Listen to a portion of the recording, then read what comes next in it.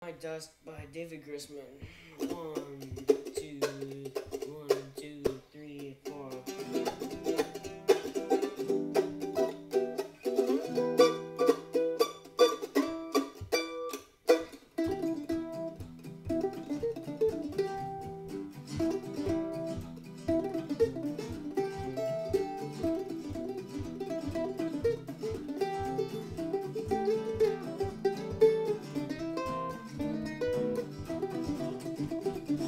Thank you.